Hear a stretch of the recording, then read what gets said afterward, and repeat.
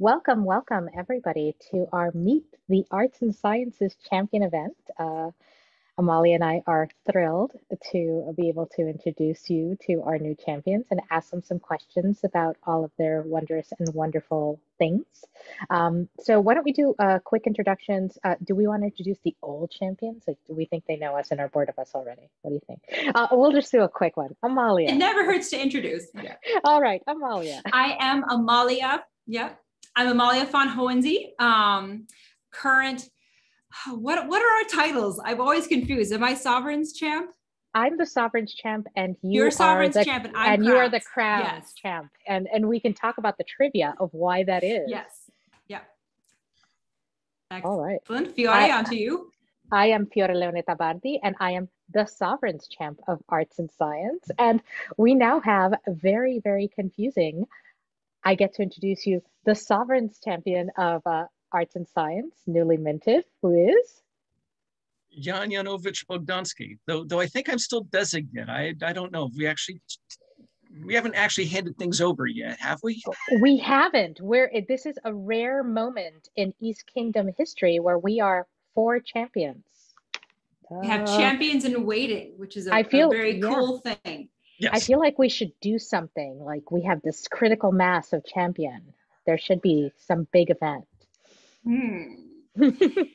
All right. And last but certainly not least, our new consort champion of arts and sciences. And uh, watashi wa uh, Sugawara no Naeme. I'm Sugawara no Naeme. Excellent. So welcome. to get welcome everybody for coming and welcome everybody who gets this on video. Uh, why don't we just start with the naming convention? Like what happened to the naming convention for our champions?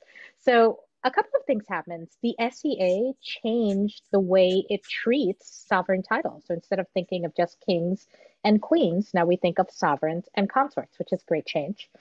But of course, Amalie and I were both uh, recognized as A&S champions by uh, Her Excellency the Countess Margarita, who was at that time Her Royal Majesty.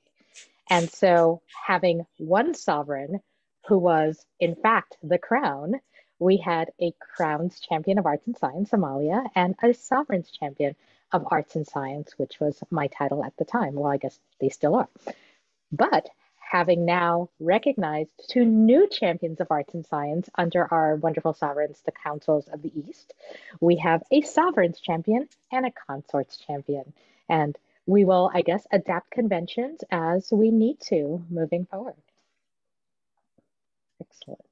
Um, let us kind of, and uh, if anybody has questions about anything as we're going on, there are a few of us on the call today. So you, uh, lucky few, can ask questions willy nilly without really much to do.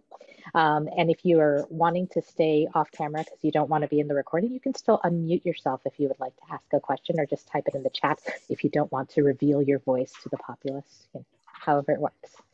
All right. Amalie, would you like to start the questions? Or you like me too or Sure. So yeah, we um, we wanted to ask you both to talk a little bit about the specific projects that you did for uh, this this particular competition.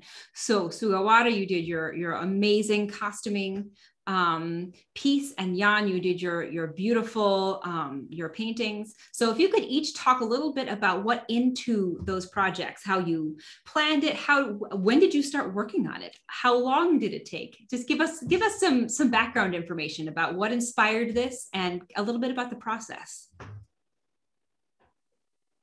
Why don't we start with Jan? And if either of you feel inspired, so first? I'm going to throw. I'm, Do we have a brave Jan, I, I am throwing Jan under the bus. That's fine. Excellent. That's fine. Um, so I got into it, it, it kind of goes like this. Um, I got into the whole painting thing um, a few years ago. Um, and, and it started as, as an icon writing class and, and cross pollinated that with, with just an egg tempera class. And then while I was researching the style medievally, I narrowed into this Italo-Byzantine thing. So um, I had done a couple of pieces, and approximately a year ago, um, I started on the the Saint Michael piece. Um, basically because you know real life you can only do so much and and things of that nature but it's a fairly involved process uh, the first thing i need to do is make the panels which is a, a, pair of oak panels that you then have to glue together and and and get flat in the right the right size. Um, then is creating the glue and the gesso uh, that you have to treat the panel with. And then comes creating the cartoon and transferring the cartoon to the gesso and then comes the actual process of creating the art. And you, you start with the gilding which we'll talk about in, in more in depth later. Um, and then comes the painting and the thing is with painting it's not that you paint a color. It's you paint a base color and you paint repeated colors over it, usually in lighter shades, to create the actual color that you're looking for. Because uh, going from dark to light, what you're actually working on is thin film diffraction through through a surface, as, as I learned in physics class in, in college, to create the shades that you're getting. Um, so, you know, uh, I'll, I'll talk uh, about the painting more later, but like a flesh tone starts as green as a really nasty, ugly green. And then you put layers upon layers upon layers uh, on that. Um, I finished once I gotten it to the point where I thought I shouldn't be painting anymore, which is, as any artist knows, the most difficult part when you say done. Um, came the, uh, I finished with the patterning of the gold which was actually easier than I than I expected it to be. And I would say that I finished the entire project sometime in October, um, not to uh, about the time that it was you know ready to enter the the the, the competition itself. So it was a number of, you know, I, I would usually try to do an hour or two of painting every night. Um, though that got tedious it, it, because you can only get so far and I want to do more and I need to stop. So I started sort of banking that into weekends that, that I would work on it. But it was it was a pretty uh, long and involved process. Excellent. Thank you for sharing that with us. All right. Sugawara, why don't you tell us a little bit about your project? All right. So my project, um, um, I had made a traveling outfit 13 years ago for a crown list. Um, but it was all cotton and machine sewn, and um, it was a great first attempt. Um, I've done a lot of research in the past over a decade and um, had learned a lot more. And then the Calontir Clothing Challenge came up, um, and I was inspired by the ambitiousness of that um, challenge and decided to enter that. Um, and it was maybe a few days after I decided to enter the Calontir Clothing Challenge that I found out uh, that um, Crown, Crown's A&S Champs was happening. Um, so I decided to, um, when I had laid all of my project out for um, the for C3, the Calontir Clothing Challenge, um, I had broken it down into individual steps so that it would be easier to accomplish um, with little bites instead of a big thing staring at me. Um, and with crowns coming up, I actually had to shorten that deadline um, by almost a month. Um, so I rearranged everything and then started just working on it piece by piece, uh, slowly starting with weaving and then moving on to the sewing of each garment. Um, and I started on October 1st um, each thing took about a month to complete. Um, and I was working between five and 12 hours a day on it.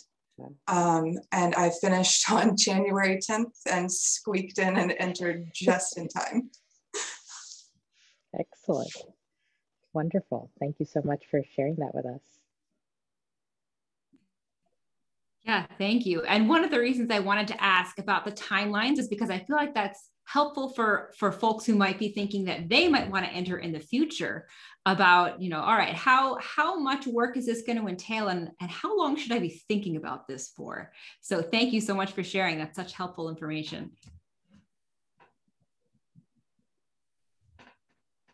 All right fiona okay. do you want to take the next question? I will take the next question. So our next question is i will have to open the questions what were specific parts of the process that stand out for you? And that can be the process of prepara- preparing your project or the process of actually entering A&S or even, you know, the competition itself, whichever way you would like to answer that. And uh, we can, why don't we start with Sugawara this time? So um, the part of the process that I enjoyed the most, that stands out the most, um, that gave me the most pleasure was actually planning the project.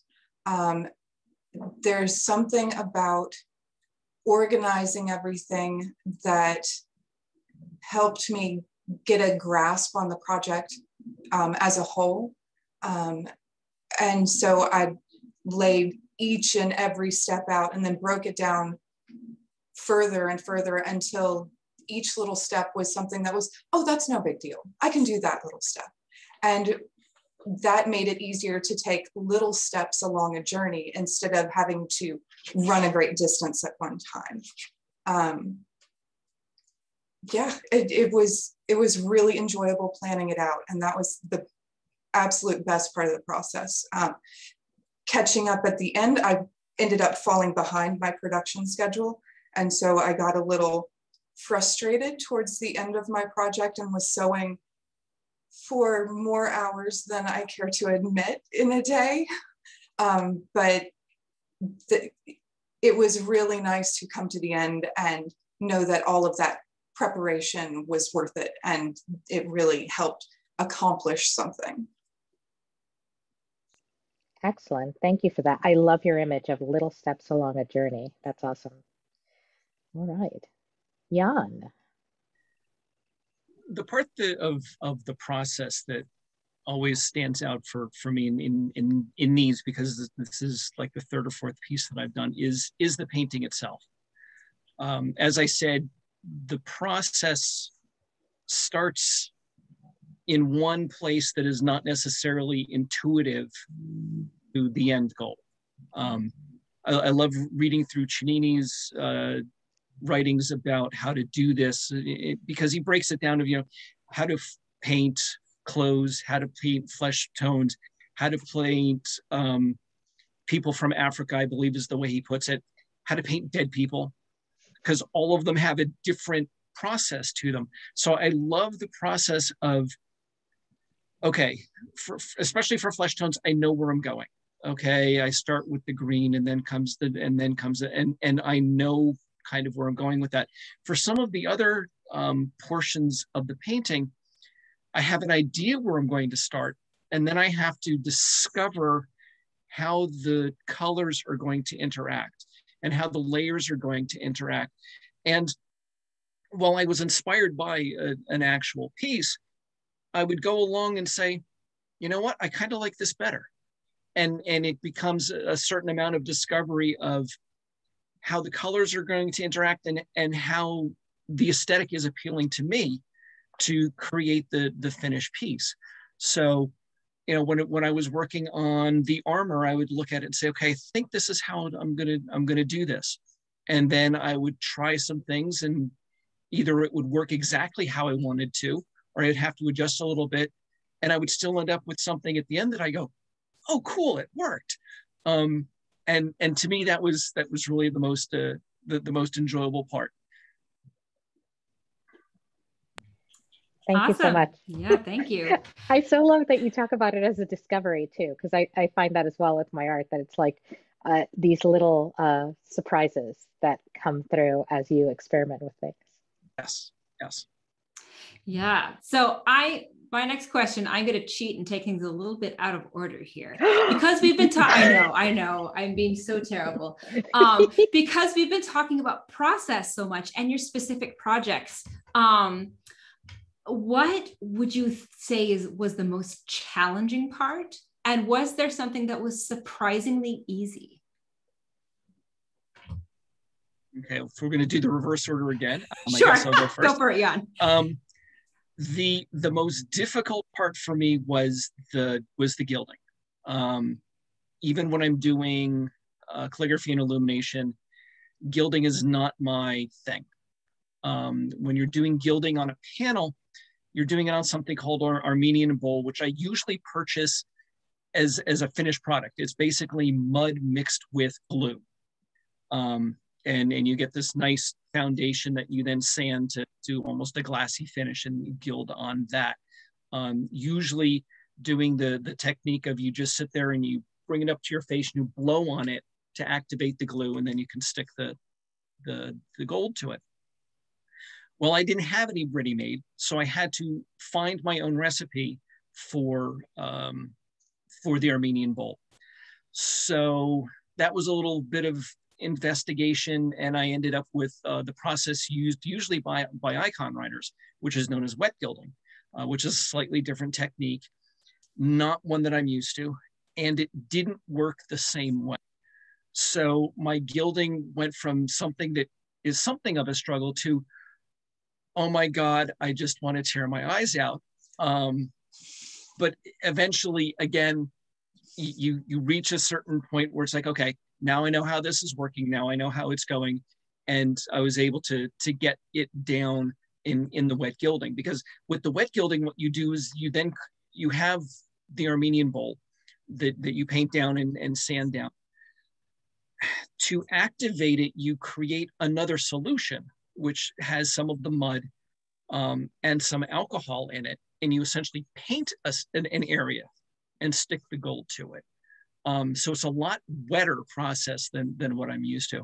But eventually I was able to, to get it down and, and move that along. So that was that was the challenge. The one that turned out a lot easier than I expected was the patterning.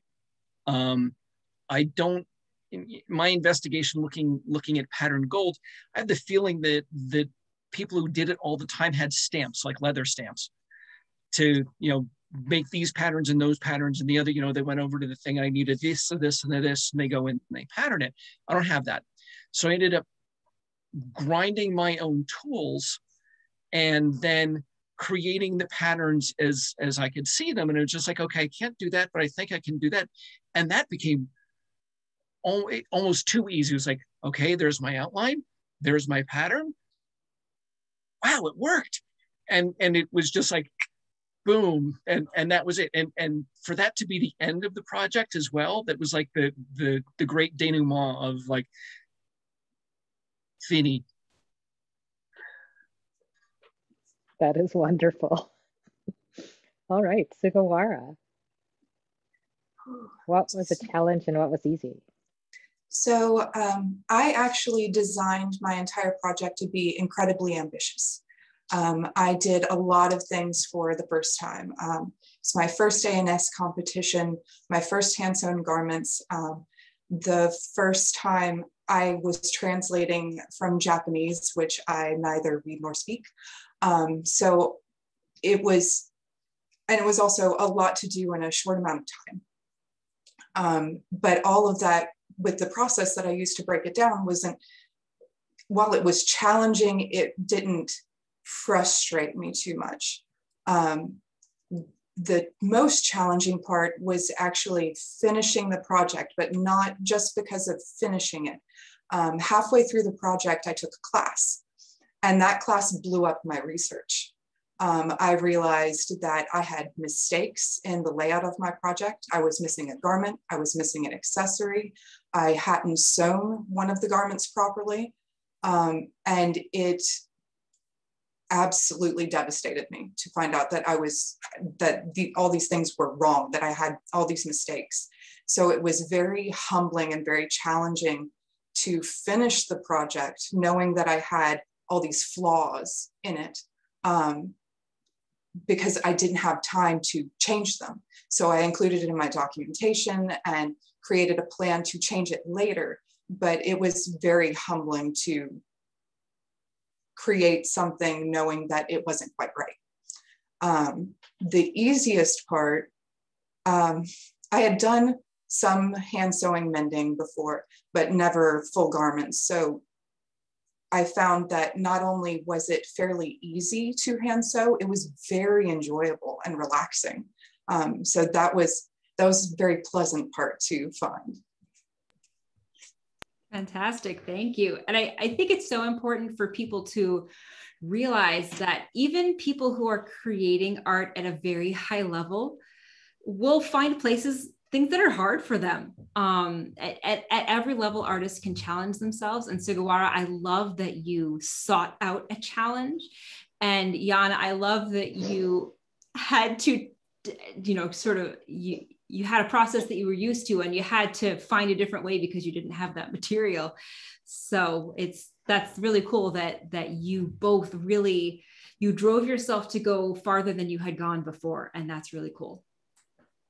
Very cool. Yeah, I, am I'm, I'm loving these stories, like the the inside, uh, inside the uh, artist studio, as it were. All right, so I'm gonna go back. All right. Uh, did you interact with the Ministry of Arts and Science, either the webpage or people, or with the rubric before the competition? Um, and if so, how did that work for you? Uh, wh- how was it interacting with the rubric, either before or during the competition? And I think we're on Sugawara's turn this time. So I most definitely took full advantage of uh, the services that the MOAS office had offered. Um, I had taken a rubric class a couple years ago, um, and that got me interested in competition here in the East. Um, and then once I decided to enter, I started devouring information. Um, I watched both of the rubric classes twice. I watched the entire slate of classes that's on the YouTube channel for um, setting up an A&S entry. Um, and it was incredibly important for me to go through. I wanted to make sure, I it was my very first A&S competition. So I wanted to make sure I was fully prepared and knew what I was getting in, myself into. Um, so once I had my documentation kind of in order, which um, was actually inspired by uh, Fiore's class on how to present your A&S uh, project to the world. I highly recommend that class as well. Um, so, oh, and I've lost my train of thought. You're fine. You're fine. Take a breath. um, we were talking about interacting with the uh, MOAS and all that.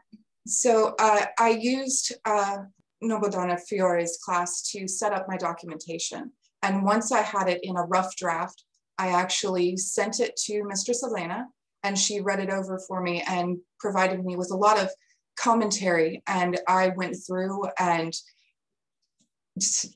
each comment corrected my documentation, added sources, um, took all of her suggestions into account. Um, and if I hadn't I am a firm believer that if I had not interacted with the MOAS office and taken and watched the classes and done all of that, I would not be sitting here today on this panel. It, it's what got me here. Awesome. Well, that warms my heart. Thank you. all right, Jan. And I'm going to take the exact opposite track in that I didn't really, um, at least not directly.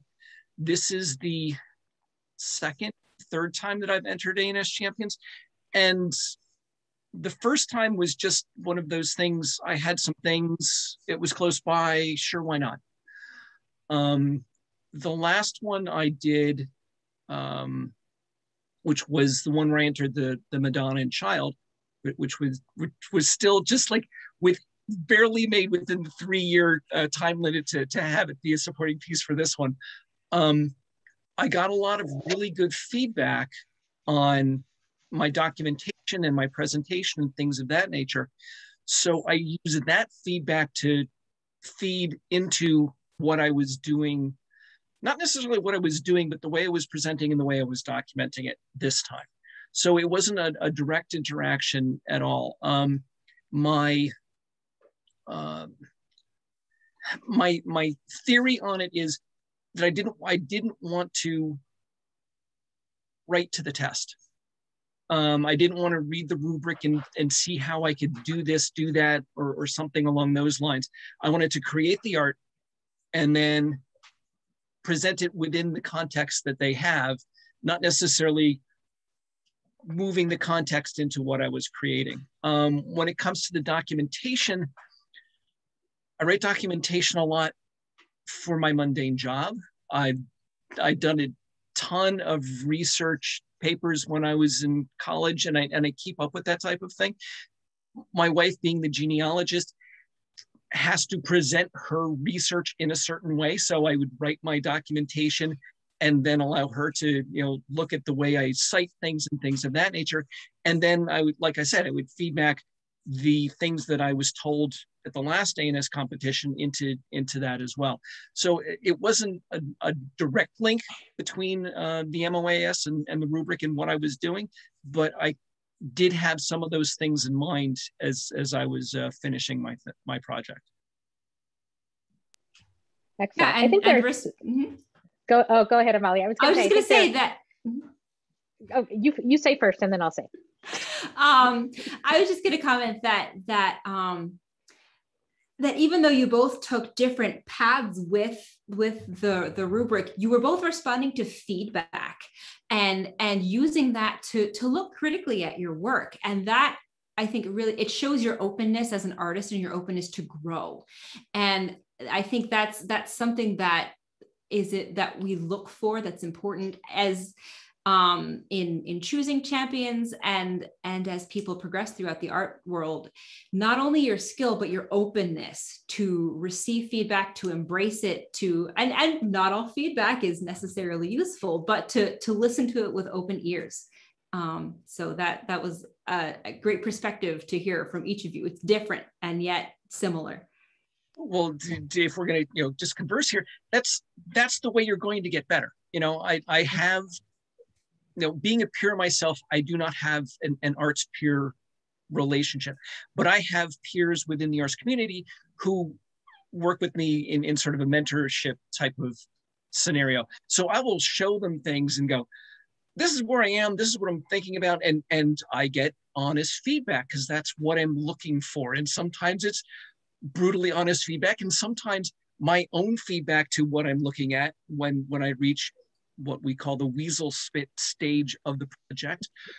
And the response is, no, that's not what you're seeing. That may be what you think you're seeing, but that's not what you're what is actually there. So that you know that works on both sides of that. Yeah. Yeah, that's really cool to have those relationships. And yeah. just one more thing I wanted to add was okay. if people are feeling intimidated by the idea of receiving feedback, we just we do have a class on the um, EK YouTube channel. Um, Mistress Elena did consent in A&S. So I just wanted to plug that. If people are not sure how to engage in feedback, if they're wanting to uh, receive it or give it, uh, that's a great place to go. Yeah, and I, I was, uh, you know, I, I'm, I could pile on to everything that people have said, but I wanted to add the component of difference in how you want to interact with the materials and difference in how you want to receive feedback and different in how much you want or how little you want uh, all those variations are available. So I, I, love that you both had very different engagements uh, because that's the reality. Even uh, as we look at Amalie and I in our discussion with Council with the Councils, we have very different ways that we came to to our projects as well. So I think that it's uh, for me important that everybody see that there is no one way to do this. All right, let's ask another question. All right. So I believe next up is uh, talking a little bit about what your hopes are for your years as champion or your year, your years collectively, both of you together as champion. Jan, go for it. Yeah, I think I, I think I'm up. Um, first of all, to actually meet people, I'd, I'd love to meet Sugawara so I can talk to her about, about this. Um, but you know, we're, we're all in that though. Um, a couple of things that, that I've, that I've come to mind thinking about this.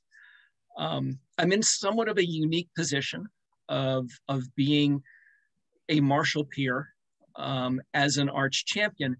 and I'd like to use that opportunity to dissuade some stereotypes on either side of that fence um, about both the arts and the martial communities.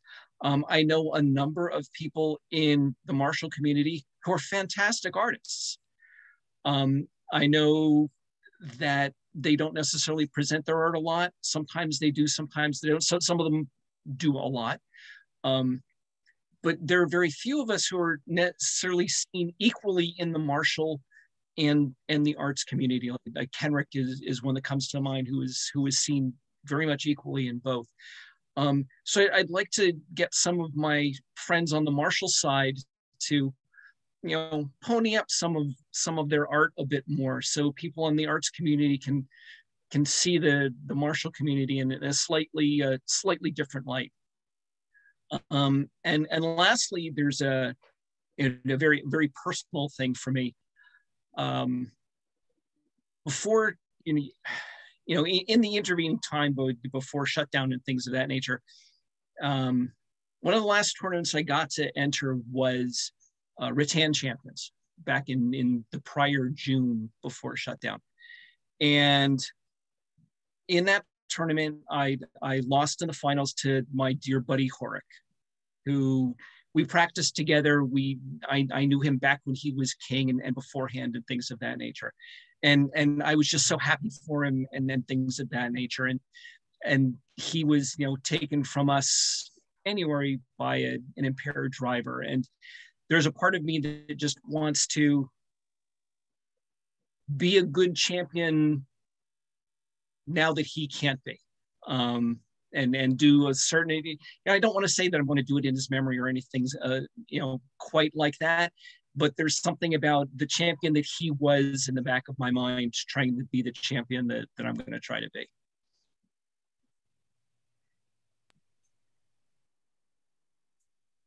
That's really beautiful. Thank you for sharing that. Yeah i i, I got misty too. All right. Sugawara what would you like your year to be? Um, i would like to stir up inspiration in the kingdom. Um, I derive so much joy from drilling down into my chosen area of study, into the Heian period of Japan. It gives me so much fulfillment. And I would like to encourage others to find something like that for themselves so they can really delve into something deeply and take part in it and get in touch with their persona or their art or history in a way that they hadn't before. Um, yeah, I, I really want to stir that up in the kingdom and get people excited.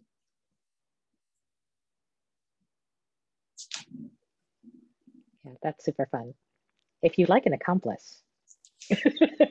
yes, please. I, this is one of the things I find fun. So I'm, I'm happy to stand behind the champion and, you know, make noise.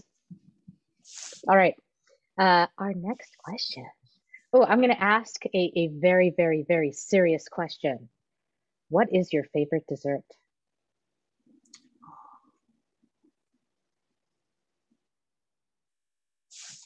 Mochi.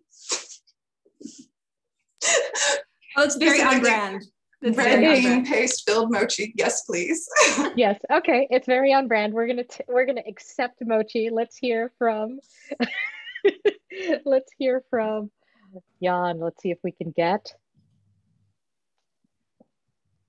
You, you, you and you and my daughter should mochi as well. Um, it, it, when I saw this question, it's like, okay, are, are we talking mundane or medieval? Um, on on on the mundane side, the problem is I don't have a favorite dessert. Um, at, at Christmas time, um, Rosamund makes uh, a bûche de Noël that is just off off the charts. Um, I've got a soft spot in my heart for uh, my mother used to make a lemon meringue pie. It was just mm, wonderful.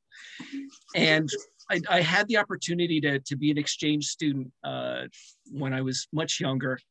And I got turned on to Brittany cake, which is just so, so wonderful. Um, and, and my wife makes it for me now for my birthday. So I love that. Um, on, on the medieval side, fine cakes, which are essentially uh, shortbread, or uh, Toruń, Toruń uh, per, perczniki, which are Polish medieval uh, gingerbread. So if we're going to do the on brand, that's mine. that's awesome. I love it. Yeah. So so hopefully everybody's taking notes about the the desserts that can be provided to our champions, you know, as bribery. I mean, um, offerings. We'll call them offerings as we move forward. Okay. Um, can I be cheeky and ask a question that's not on our list? I'm totally for it. I I, awesome. I support. So um, Jan had talked a little bit about um, how he is involved not only in the arts community, but he is also um, uh, a martial peer. And so I was wondering if you could each talk a little bit about your journeys um, in the SCA that are not necessarily A&S related. Um, to have you done martial work or service work or uh, taken part in the SCA other than the arts, and then how, if that came first, how did the arts kind of creep in to your uh, SCA experience? Wow. And, and, and, and it's my turn to be first this time. Great. Um, I joined the SCA in, in college. And of course, the, the thing that I saw first at the demo was the fighting. Um, but I, I always blame my father for my SCA journey because when I was a kid, he used to say, you know what, if I ever if I ever had a lot of money and, and didn't know what to do with it, I'd love to open a restaurant. Call it Henry VIII's. And it would be long tables. And, and he described what amounts to um, medieval times, the, the, the restaurant chain. So I came back from that demo at college and literally picked up the phone, called home, and said, Dad, I found it. So to me, the SCA was was like an alternative medieval lifestyle, and I wanted to do all of it. Um, within a few months of me joining the SCA, I was cooking my first event. Um, I was fighting. I was the Minister of Sciences, which tells you how long ago this was, because there was separate arts and sciences office um, the next year. So I got into games. Um, so my my journey was all of the things that I was interested in doing all at the same time. And I remember going to a fighter's practice in Bhakail long ago and far away. And Mistress Gabriella, who had just stepped down as Tyger clerk, who I was working with doing signet work because I've been doing signet work since a long time ago, um, said to me, You're going to have to choose one. You can't pursue fighting, you can't pursue A&S and expect to get there.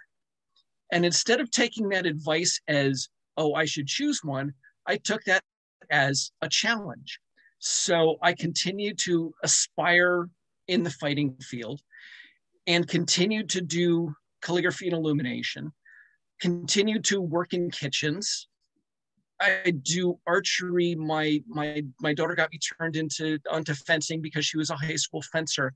Um, in the in other arts, I do woodworking because I need furniture to sit on if I'm going to be at the tournament, and so it became all the things that I needed to do, and and like I said, it's sort of an alternative lifestyle. My my vision of the SCA when I started was that you're visiting somebody's you've been invited to the manor house of your neighbor. And you're going there for the feast and the festivities and the games and you should have all of that stuff as as part of it. So i pursued all of the stuff. And and back to some of the stuff that, that Sugawara was was talking about um uh, count Rhys of harlech one of the, one the person who created the king's order now sovereign's order of excellence was all about the details and camping with him for a couple of years got me into the details. You don't know Pennsic until you have searched every merchant trying to find the correct 13th century buckles.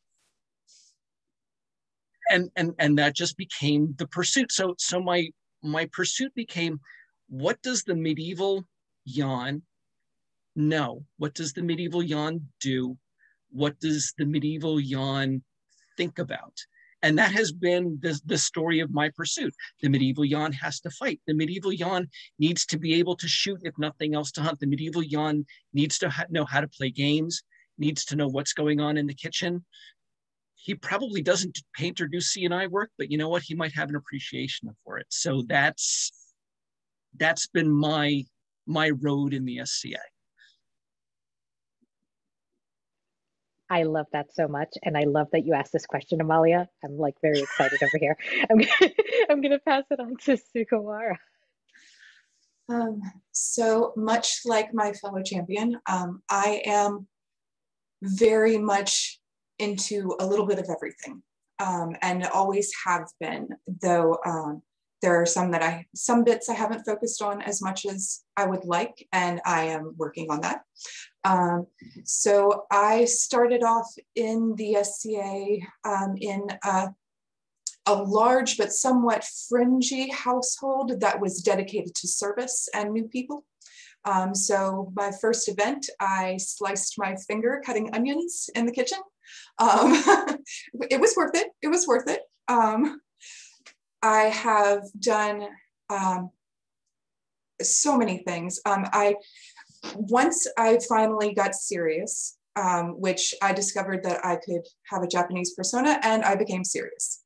Um, I found my thing and I went after it. Um, I did a lot of service in event stewarding, um, feast cratting, and I served as uh, an A&S officer and the quartermaster for my old barony. Um, and it was really rewarding to serve in those capacities. Um, and I dabbled in calligraphy and illumination, like my fellow champion does, um, and uh, kept into the kitchens. And I had the same thing told to me that, you know, you need to pick a lane and drive through and get to where you're going. And I just don't like that idea. I think you can do whatever suits your fancy um, and whatever makes you happy. Um, and one thing I am getting back into, and I, am going to admit it, um, this noblewoman is actually going to start fighting. Um, I had authorized 12 years ago, um, and I've started I've, I've picked my naginata back up and I'm going to see what I can do with it. Um, I just, there's so much that the SCA has to offer and there's no reason to not try a little bit of everything.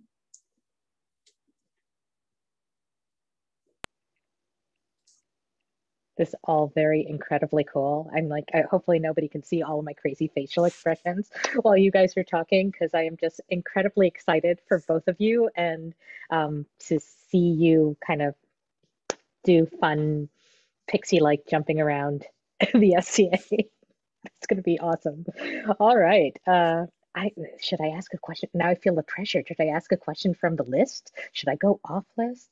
Um, I'll, I'll say this. Uh, what what do you wish people would know or consider before they enter in this competition?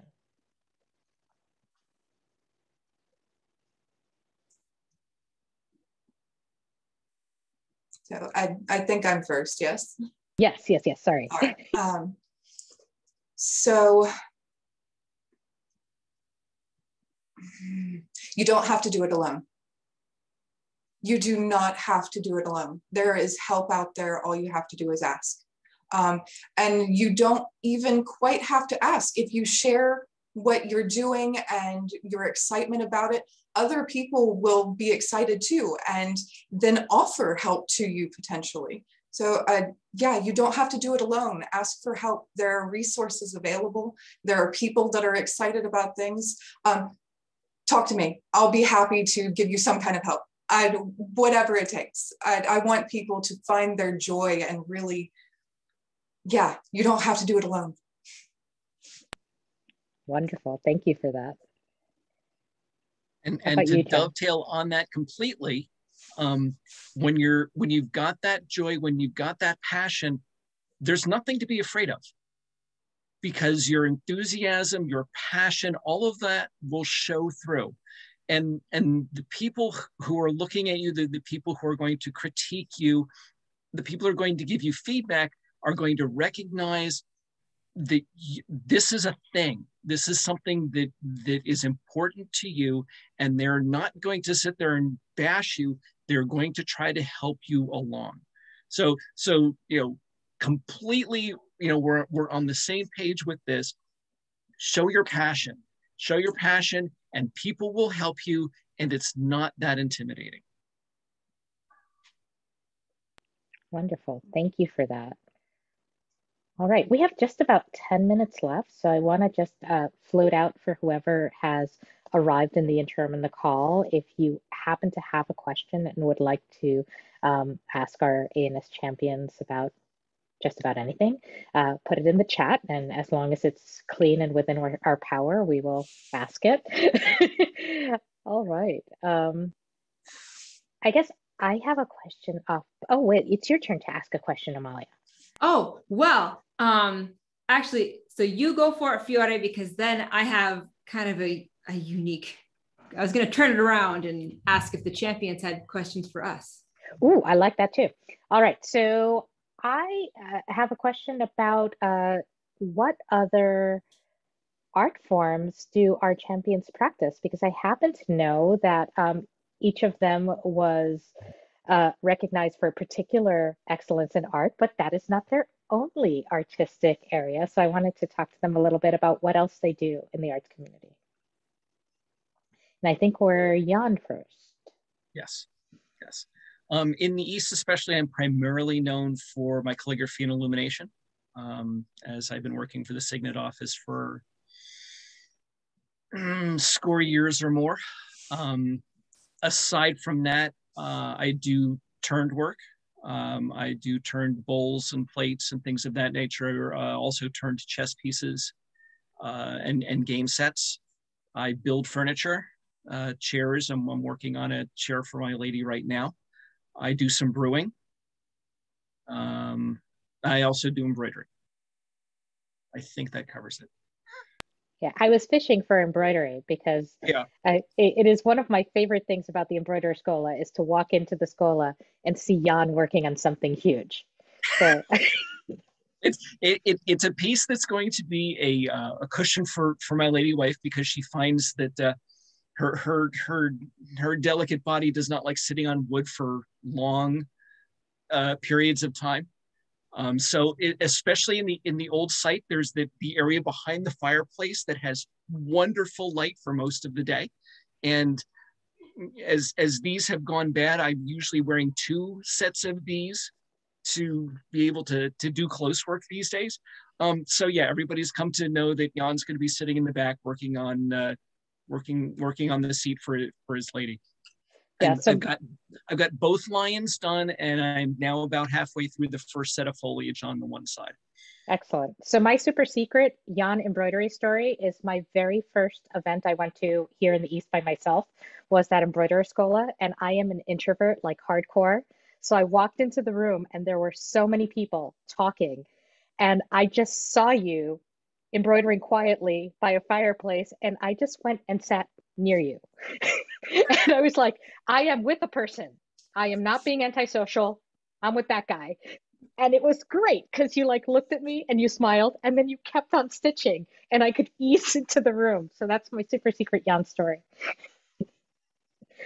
All right. Sugawara, tell us a little bit about your other artistic pursuits.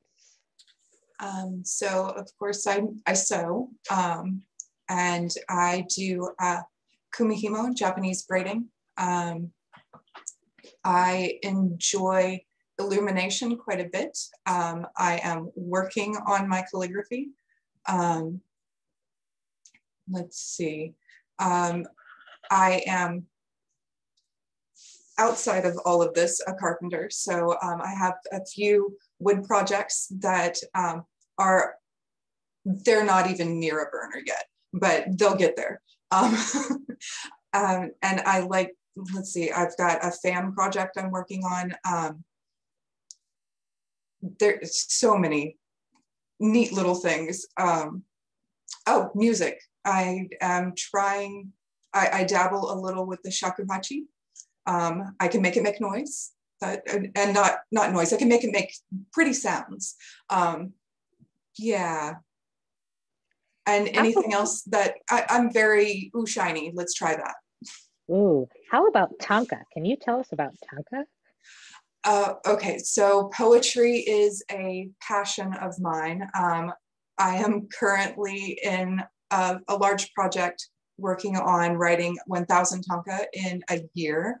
Um, and tanka are a form of Japanese poem. Um, it's, uh, so if you're familiar with haiku, that's 575, and a tanka is 57577. So it's a little longer. Um, and yeah, those those make me happy. Um, I write poetry every day for that. Thank you. Thank you for sharing. All right, I'm going to kick it over to Amalie. Awesome. So, as I uh, hinted at earlier, I wanted to open it up to our uh, our champions in waiting. If you had questions for uh, the outgoing champs about our experience or you know any any questions you might have that might help you in your year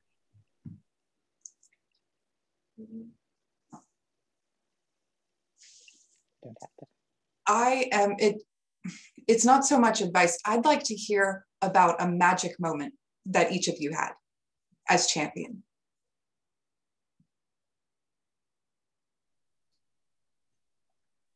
that is an awesome question I'm gonna have to think for a second. Fiore, do you have a magic moment that comes immediately to mind?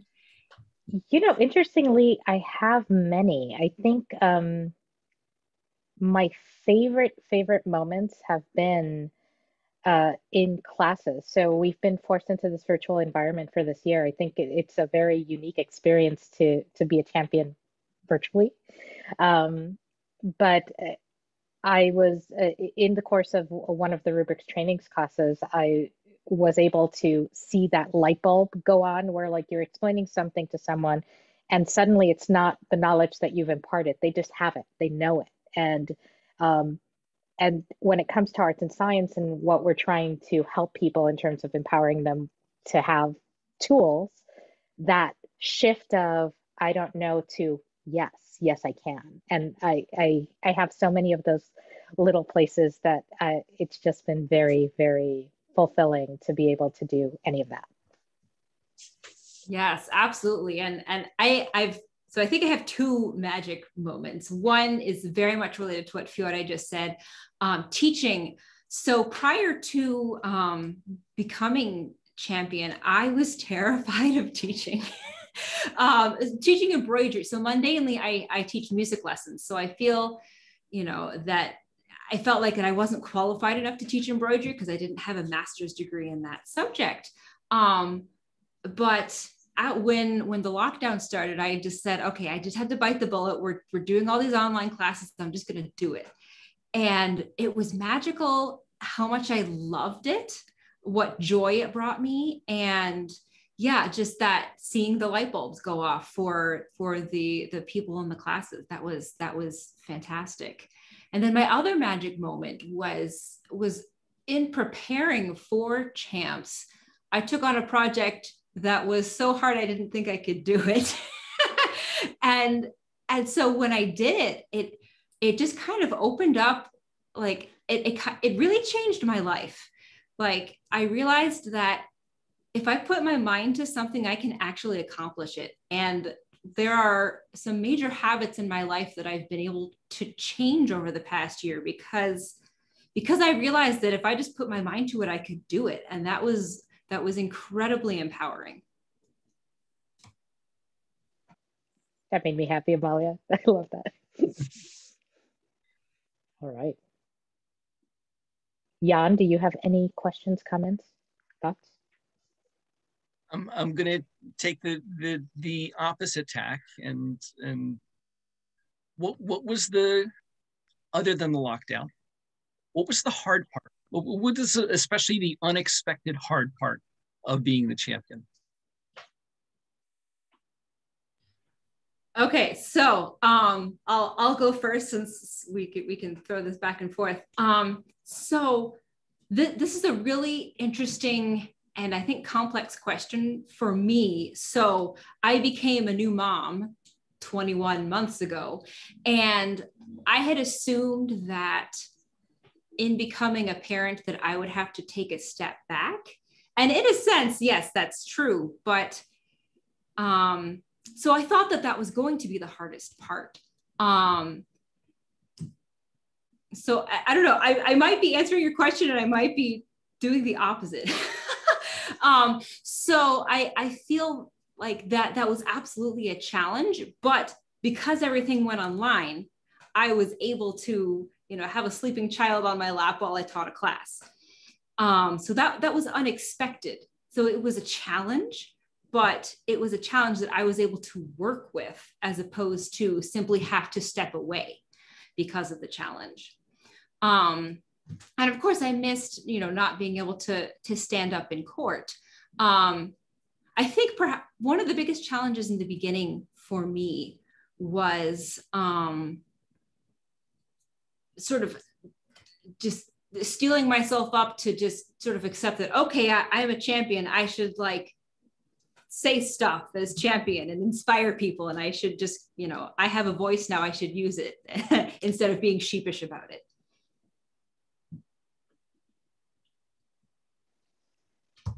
All right. Uh, you know that's a, it, it is a complicated question when we think about challenges i mean things have been challenging. I am an introvert like all day long and being very public facing as champion not just you know the champion is there behind the the thrones, you know, somewhere in the background, but the champion launches herself into the internet to teach all of these classes.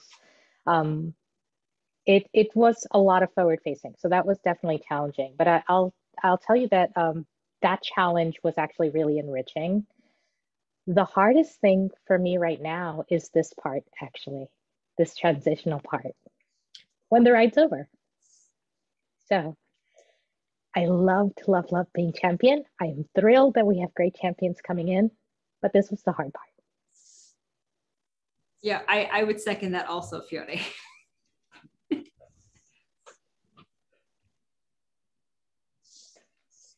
so do we have any other questions, comments from anybody who has attended with us here today?